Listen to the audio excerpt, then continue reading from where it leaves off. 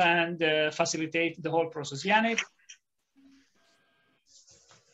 Thank you very much again for the uh, opportunity to have this panel with you guys. Uh, I'm Yaniv Naor. I'm working currently in Hugo Boss as the master data management lead. And in today's panel, we'll talk about data as a key asset for the digital transformation um, and the way it is. So just so that our audience are aligned with us, please, which each one of you, please introduce himself, what he's doing, his role, and how many years he's been in this domain of data management. Sure. Uh, shall I start? Yes, please. Hi, um, I'm Ramesh Panakkal. I work um, for WhereScape uh, Europe Limited. I'm uh, the customer success manager for EMEA. Um, I, I look after all of our enterprise customers. I'm also a former customer. I used to work at uh, Xerox Financial Services, um, again, as the EMEA Risk, Direct, Risk Analytics Director, um, where I was responsible for um, managing all the risk reporting, um, scorecard analytics, and so on. Uh, and I was there for uh, 10 years doing that before I joined uh, WhereScape four years ago. Thank you. Bruno, please. Oh, um, hi everyone. Thanks you for uh, inviting me to, to this panel.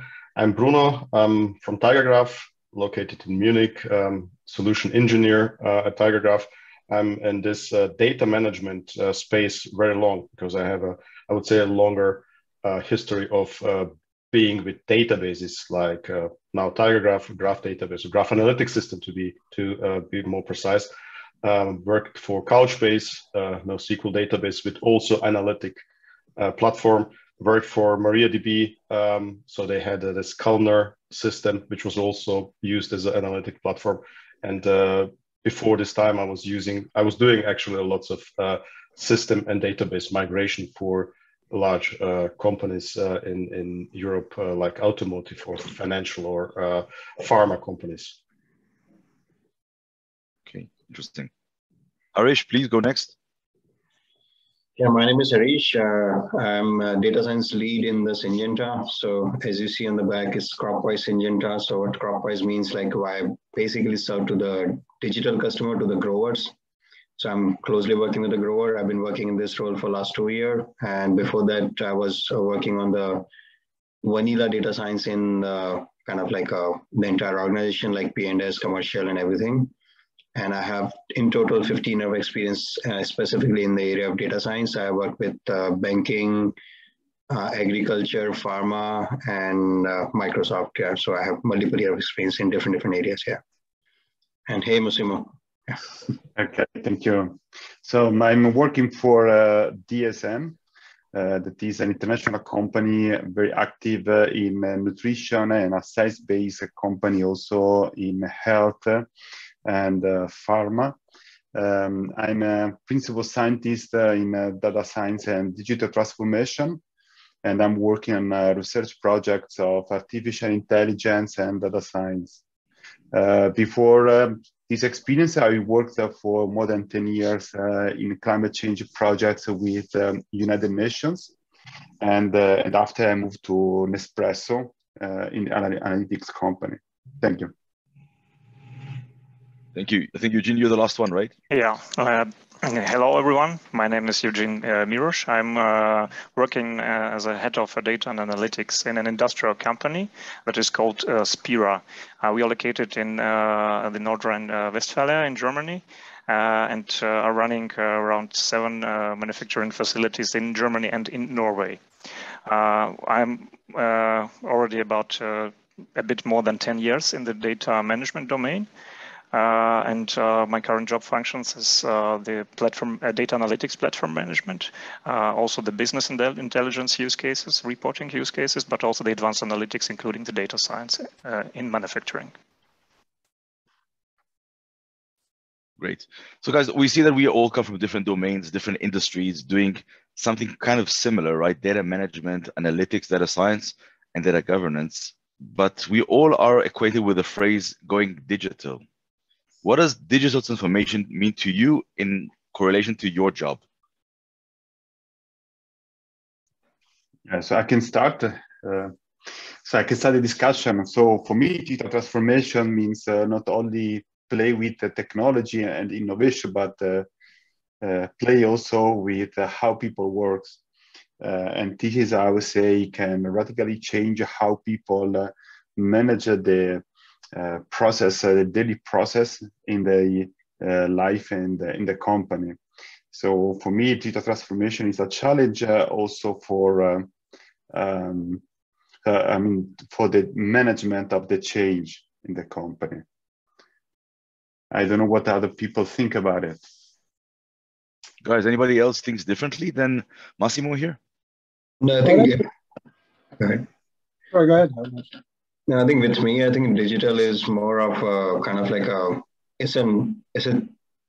I would say I think it's created a new opportunity altogether uh, to uh, connect to the different customers or uh, connect to the data internally altogether. I think, and once on the one side, digital is helping us to record the data more accurately. On the other side, it is helping us to reach to the customer through different different ways. I think so. That's how I think what what I call digital. Yeah.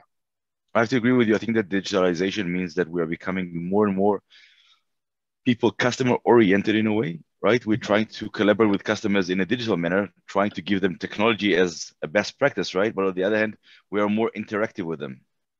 Paperless world is part of the digitalization, of course, right? But there are other side effects to digitalization because it's a base foundation for everything that we do in our companies, right? We contact we contact the consumers, we receive their data, and we build on top of that. Do you feel the that we build about analytic models, analytic statistics, and so on, based on what we receive from the customers? You think they are aware of this? I think uh, I think in this day and age, you know, the, the, the role that data, especially digital data, plays in everybody's daily lives means that consumers are, um, in general, a lot more knowledgeable about how, uh, and and quite rightly so, they're more knowledgeable about how their data gets used at customers, uh, sorry, at uh, at companies, and and um, you know, it, it data has now become possibly the, the, the most valuable commodity within a business, right? That's true. Does it have a value? Uh, Monetary it, value? It, well, it's uh, you know when it comes down to goodwill and performance, you know the data, the, the, the quality and uh, agility with which you can um, um, you can utilize the information that you're collecting and have at your fingertips, you know, can often not only influence the way that your customers interact with you, but also how your employees are able to uh, interact with both the business and their and their uh, customer facing uh, interactions, right? It's really interesting because this is a philosophical question. Does data have a monetary value for the organization, right? So if you look at all your financial reports, data is not mentioned with a value, right? But without that data, you probably could not run your business. But you're also yeah. looking these days at uh, you know such significant financial investments made by companies around managing and storing and, and analyzing. That's data. true. That's true. That's true. You look at the storage, you look at the governance, you look at the security. That's true, but you don't look at the content as an aspect. But, uh, th- this is true. The the fact here is that uh, uh, basically th- it's not a direct uh, connection between the data and the price. It is actually what you get when you analyze the data. So this would be actually your your total cost of ownership or return of investment or whatever you mm-hmm. you have here. And I would agree with all of you because uh, I think uh, digital transformation is not a single item and uh, it's it can be understood on uh, only on one one uh, in one way. Um, I think uh, for somebody, digital transformation would be maybe for for a German German government. Uh, we know now how they work. Some of them scanning documents, fax documents, would be dig digital transformation. Um, for for somebody would be actually something else, getting insights in their data that were not possible a few years ago. Why? Because you didn't have the power of, of computing power to do this. You didn't have the possibility of use using machine learning uh, algorithms because uh, it was not not possible because the distribution was not there. Uh, you didn't have the possibility of predictions like you have now. So this is actually, I think, the whole scope of digital transformation. From the beginning, uh, somebody scanning the documents to the uh, company like I don't know yes. Amazon using using it to mo- do better profiling on, on their customers and getting more more value. This is an interesting point you raise. This is an interesting point that you're raising about digitalization, going digital, right? We all know the phrase, but we all do different things, and we all call it going digital, right? Yeah. So if you look from one company to another, one domain to another, they do digitalization in their own aspect, but it's totally different from one to another, right? And now when we look at it, when we say that customer digi digitalization, B2C and B2B, are they the same or are they different in their essence? I think they're, they're thinking from on from a, from a monetary prospect or perspective. It will be the same. Why are you doing this? To get, let's say, better, better. Uh, uh, I, I, would say uh, um, better commercialization of, of your your data. So to get more out of out of the data. For the business to business would be probably just uh, uh, uh, the same the same reason. It's it's getting more um, productivity, getting um, I don't know um, if you're talking about supply chain management, or uh, uh, better uh, insight in what you can pro produce, less risk, and so on and so on. So this is, I think, at the end, the, the question would be why we are doing this, and it's because of money. So you would like to have get more money from your data. That's it. Also, you know, you're driving you're driving better. If you think about IoT, right? These days, the velocity and quantity of information that we're able to consume is incredible compared to say five or six years ago. Um, and, and just being able to collect that amount of information in such a short space of time with such a high degree of frequency and relative accuracy as well now. You know, it's no longer the case where um, you have a, a, huge amount of data quality issues with the, the, the, quality of information that's coming in because the standards that have, have now been formalized um, to a certain degree. Uh, you know, there are file formats and, and, and other um, rigorous processes that, that, that help um, structure the information that was that we're starting to consume. And that gives us a lot more access and a lot more capability in terms of being able to um, really utilize modeling techniques, um, heuristic patterns, um, you know, the, the idea of being able to forecast and understand what um, the behaviors that we should expect would be um, is now much more at our fingertips. So you know, being able to monetize that, as you say, is um, is, is a very um, interesting proposition and a great opportunity for, for, for companies these days. Eugene, I think uh, you are actually very heavy B2B. I think, can you elaborate on like how does actually work, especially in the B2B yeah, uh, actually, it's a very interesting question that uh, Yanni raised. Uh, the, the difference between B2B and B2C. Uh, I think we all agree that uh, digital Uh, helps uh, uh, our companies to to to achieve its business goals. it contributes to to the company's strategy. I think that is the similarities that I can see between B2B and B2C. But the approach and the way is a bit different. I could imagine that, for example, on B2C what is important, like um, their yeah personification, uh, some suggestions what could be interesting for your customer, uh, yes, something like this. Individualization, uh, um, that is probably not uh, so important in the B2B. Uh, in B2B, sorry, sorry, that I inter- sorry that I interrupt you, but a customer would be a customer whether it's a business or individual, right? So personaliza- personalization yeah. and approach to a customer should be somewhere on the highest level, right? Yes, I agree, but um, I should explain because in our uh, in our case, uh, uh, where we are manufacturing kind of a finished product, it's not like a, um, a five or ten uh, products. Uh, so every product that we uh, um, produce, it is a, custom, cu custom, customized product. So um, in in the year we have around thirty thousand different products. That's very high number, and it is every product is very very individual. So from this perspective, that is definitely. Um, personification uh, is, is, plays a very important role. But again, uh, it uh, it is very um, uh, connected uh, to the company's strategy. So for example, if we have a focus on increasing the productivity, increasing performance, reducing cost, the bottlenecking of our manufacturing facilities, then uh, yeah, it's a bit uh, another story here. And uh, we have a, a different use cases and a different focus as in, in for example, in 100% B2C companies. That's what I wanted to, I think that, to say. I think that digital, that digitalization was starting as a, as a buzzword, as a trend. And many companies thought about it should we go digital, yes or no, right? And then you could see that some companies go digital because their competitors in the same domain do the same. So they go in that direction. Others do it for surviving, right? But some are actually leading the trend with digitalization. Now, the question is from your companies and your experiences, do you feel that once you started implementing digitalization, right, in your company, did you invest more money? Did you invest more effort?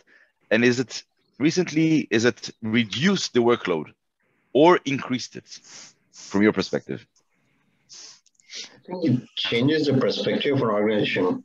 So definitely increase the workload uh, uh, from, uh, I think, IT point of view or from the infrastructure point of view. It definitely increased the workload, but it reduced the workload in terms of solving the problem. So I came from an agriculture background. I worked with John Deere, and they are they're considered to be pioneer in the digitization because they started thinking 10 years ago. Their tractor was autonomous way before I think we are thinking about autonomous vehicle. So, but I think when I look at when I look back at them, I think they were heavily investing in infrastructure when the infrastructure was really expensive. But at, at this time, they're the pioneer in that one. And I think it changes the perception of an organization altogether. It basically creates kind of like a, a vision for most of the other organization to follow. Yeah. But it gives a very, I think, uh, good understanding to the internal customer about their product, about their customer, about their future need, about uh, I think their problems, their challenges. Uh, it gives a very clear understanding about it. It takes time, but it comes ultimately to the point that where they have very clear understanding. Yeah. Anybody else feel differently? Yeah, I would say. Go ahead. Okay. So basically, I, am not. Um, um, let's say our product is used in, in many different uh, verticals. So we have very, uh, I would say, distributed base of customers. Uh, what I see there is uh, there are some trendsetters that started with digitalization uh, very early uh, from, for various reasons. And this is a process. So this is something that the company itself has to learn. So you cannot actually force it and say, okay, we are now going to do the digitalization and be um, be actually the leading in uh, uh, into it, uh, no matter how, how much money are you investing.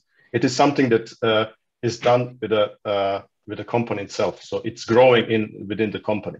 So uh, maybe the the um, the company that uh, uh, Harish mentioned was investing a lots of money uh, as the, the whole system or infrastructure was was very expensive. But they also have now a big step forward in uh, against uh, others because they already did this this part and, and this learning journey let's say it like this. It is always a journey. So the, the the question is how long it takes.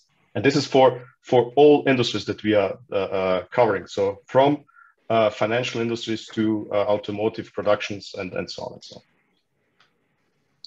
Yeah, I think I think yeah. I agree with that. I think we've got um, similarly, you know, WhereScape we have a, a a very diverse customer base, and you know we, we deal with SM um, uh, small to medium sized businesses as well as enterprise customers. You know we will sell licenses between two and I have 300 developers on projects in in, in some companies, um, and you know what we see in terms of the effectiveness of, of going digital really depends on um, the level of automation that can assist with that process, right? So um, where where companies sometimes struggle in their journey to understand what um, uh, what their digital assets can provide is actually having the um, having the time to invest in investigating it rather than you know spending a lot of time trying to work out well what's the architecture going to look like? How do i build this? What kind of code do i have to write? All that kind of stuff. Um, so if they're able to i, I have to um, ask sorry go ahead I have to ask you a question. You said that sometimes the business does not understand the essence of the digitalization and what the added value is, right? Yeah. What do you think the learning curve is for the business? Uh-huh. So we go digital because the management. So we go digital because the management said we go digital. But what is yep. the learning curve internally for the company to actually make use of the transformation that we did? Well, you have to. You have to first of all, you have to find your your subject matter experts and, and, and get them talking to each other so they, they understand holistically how the how the bits of the puzzle fit together to give you the overall picture. That's the first thing. Second of all, you then have to battle through the politics of of understanding who's responsible for all of this stuff and you know creating that that um, diligent structure around it so that it's a protected asset. The third thing is then how do you transform it into something that's just from from from data to information, right? And it's it's having the speed of being able to do that, you know, alongside all of these other processes that really um, provides value. And I have to be, I have to build on top of your answer. Who is usually lead, leading the transformation in the business? Is it the uh, business or the IT, Massimo? What do you think? Well, I think, uh, yeah. I mean, normally we start with the, with uh, with the IT. So the big challenge uh, is uh, to raise the, the need to make uh, to to create a process of data evaluation. So data evaluation is the process where we transform data into value. And uh, one of the big uh, uh, challenge indeed is to make people in the business aware of the potential behind the data evaluation.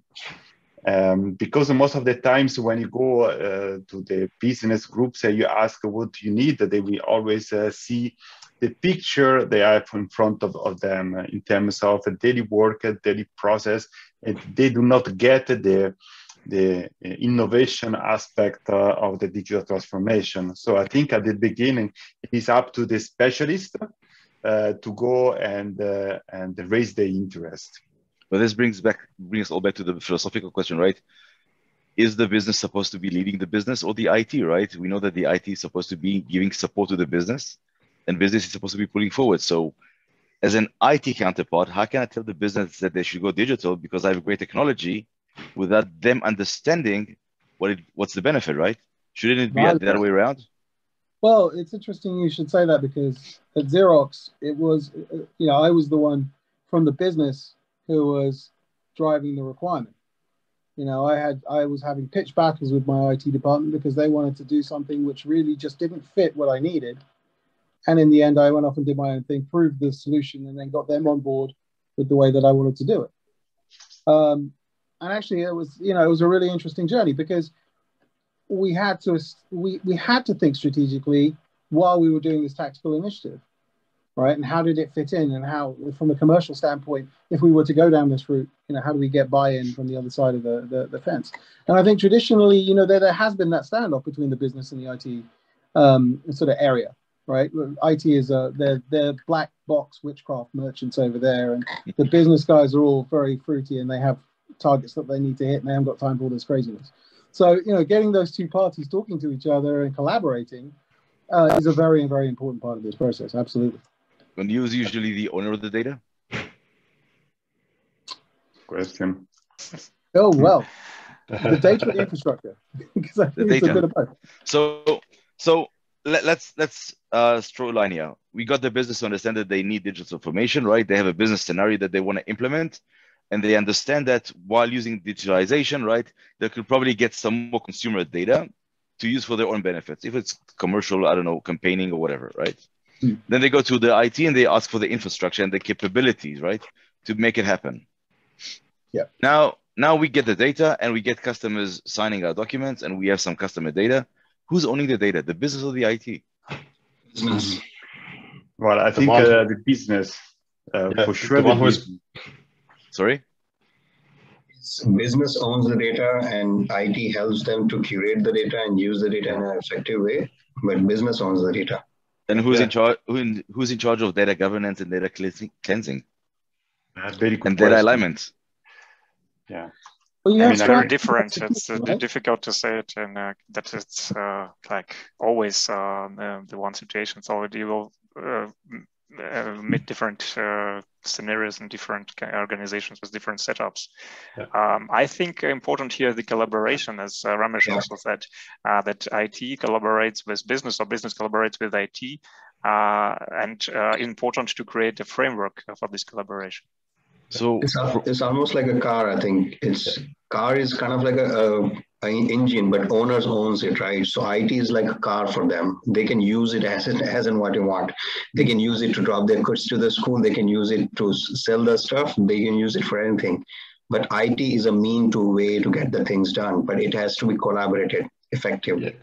and I think Talking this is- about the car, sorry, but talking about the car, I, I, I think we are now uh, uh, with this also transforming the car industry. So we are with Tesla. You don't own a car; you actually uh, get the, the uh, um, you lease it. So it's it's always somewhere uh, Tesla's property. But uh, I would say, from my experience, that um, um, even um, let's say if the um, business and and IT should talk with each other for very various reasons now um, the IT departments are not so important like they were uh, in, in the past. Why this? Because we have now uh, cloud services, we have uh, software or systems as a service where a business can actually do some clicks and, and uh, deploy what they need. And in this case, uh, the, the pressure that IT has on business is, is much lower. So they need now to talk with, with, uh, with business more than in, in the past so I've to express from my past experience, and I'm about 20 years in this domain of data management, and I've done both sides of the of the coin, business and IT. I do feel that data managers, right, should be sitting in the business. They have to understand the business concept in order to translate it to IT requirements. And it's always good to have a business person who knows IT, knows a bit about coding, about database infrastructure, right? So that they can talk in the same language. We're talking in different languages in the business, right? And then what what what, what you're saying now, uh, Bruno, the IT are very much pressurized with the new technology coming out there, right? Trying to give the business more capabilities. Having data scientists sitting in the business and doing analytics, for example, right? Yeah. Having Microsoft, for example, de developing Power Apps, which is the newest trend for companies to allow the business to create their own IT softwares, yeah. right? Self-service, self-service, self-service, self-service. You know, codeless work. You know, we are seeing a shift in the understanding of how data should be managed, right?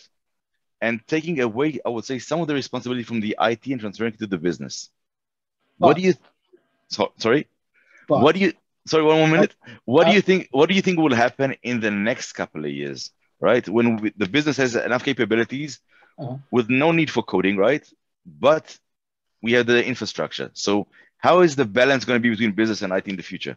Well, that's that's just what I was going to come to. The, the, the big but there is, in order for self-servicing, and you know the the uh, the the very departmental focused um, capability to work, you have to have resilience and scalability, right? Without That's that true. reliability and the underlying trust that the business needs in in the infrastructure that delivers that information that they can then analyze, utilize, and uh, deliver value from, you know, without that trust, it's, it's, it's meaningless. It's worthless. You're kind of going back to, um, you know, the dark ages where IT would just provide the information and, um, you know, the business users would have no faith in it because they didn't understand how it got there. So it was, you, you, it, the, I think for, for, for the future, IT has a, a very important role to play in making sure that the security of that information, the diligence with which it's provided, and the transparency with which it provides um, clarity to the to the to the business users um, is. I'll take you. I'll take you. I'll take you 20, 20 years back, right when we had mm-hmm. Excel primitive Excels, right, and we each worked on our different files, and then they will all ask which one is the latest one, right? And there was a big struggle struggle trying to understand what we did and which one was the latest Excel file. And why am I giving this example? Because I think that with the capabilities of having Power Apps and allowing the business to build their own reports, their own capabilities, and so on, right?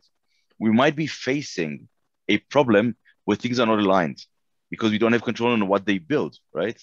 And I think that IT in this essence would have a major struggle, right, in trying to align all the tools. So we will become more of a governing uh, organization, right, rather than than an enabler itself. Uh, but this is a very very big topic, and I think that everybody is working towards more business-oriented IT approach. And I think that the uh, the problems that we see are just around the corner. You know, we still don't know what the capabilities are, but they're all still around the corner. And back to digitalization, with with the alignment of more data aligning and the set rules of who's taking care of the data and who's owning it, right? Data scientists, which are, I would say, a very big trend in the last couple of years, right? They were named statisticians before that, you know, but the name has changed in the last five to 10 years. And now the question is, where should they be located? In the organization and what is their added value right towards the business and towards the IT yeah I mean I can tell you what is uh, the experience. So of course, the data scientists are precious and they are quite specific for the business group where they work. But it is true also that data scientists uh, uh, need to work together because uh, um, the, um, there are margins of errors in what they do because they work with statistics and only with machine learning, artificial intelligence. So 80, more than 80% of uh, uh, artificial intelligence projects fail to create value with the data. Eh? So the, the statistics is very high eh? and the, the failure is very high. So in my experiences, so I think that the creation of a digital hub is uh, fundamental. Uh, 20, 20, years ago, they were called data analysts, right? Every organization had a data business analyst. analyst. Yes, business indeed. analyst. This was the trend, business right? It's true. And now they're data scientists. So has their role changed? Yeah, a lot. It a lot because uh, shifted uh, uh, towards uh, statistics, advanced statistics, and towards development towards and the, and the, and the question is, and the, the question is are they doing their models based on previous data? Or most of you data scientists are forecasting right? Trying to predict predict trends trying to build futuristic models. Yeah, we're, we're building the witchcraft back into the business with uh, with data science. It's a, it's a really fascinating area. I think um, you know when i just before i, I finished at Xerox, we were we put together our um, scorecard analytics team, statistical analytics team, um, where they were building out, you know, credit scorecard um, uh, rule-based um, analytical models, um, and they were, you know, they were they were building them into real-time web-based applications, um, and it, it's fascinating to see how the our ability to be able to deliver that that that um, capability had such a profound effect on the productive nature and the, the ability to control and manage risk within the organization. And it was very, very fast. I mean, it wasn't a, case of um, um, it took years and years and years. You know, within a year, uh, we had models out for, for all of our countries. We had data feeds coming in. We had people working on those models continuously, just making uh, to fine tune and make sure that they're efficient, understanding what the risk profile looked like, and so on. So, so yeah, it was uh, you know, I think that the role of data science in, in, in the industry is is starting to to to gain prominence. Okay, great. Uh, this is totally this interesting discussion because I think that data scientists are now an integrated part of the organization. No matter where they're located in the business or the IT, they do collaborate in both, and they have a very, very big added value to the organization organization. If, and there's a big if, if the organization knows what to do with the data that they receive, right? Because sometimes data scientists forecast, see things in their pattern. I would say they're kind of geniuses, right? Because they do something that nobody else does on daily business. They're trying to predict the future in a way, or trying to build models to see who the customers are in a profiling manner, right? And mm-hmm. sometimes businesses do not know how to use that information. And you could see that sometimes when they come up with a model and because it's a bit too sophisticated for the organizations their understanding is put aside it takes a couple of months years for them to actually adapt it but it, it is out there. How would you and your organization actually measure the uh, the digital transformation? Was it a good one? Was it a bad one? How could we improve? Do you have any any criteria any kpis for the measurements Eugen? Yeah i think uh, again uh, I have seen different KPIs and uh, different uh, metrics uh, how to measure the success of the digital transformation. Um, all of them not uh, really good from my perspective, and uh, um, there are different views on, on, on on the success if the transformation was good or not. but for example. Um, and again, uh, there are there are some uh, metrics uh, that are more business oriented, business related, and metrics that are more IT related. So important also to differentiate.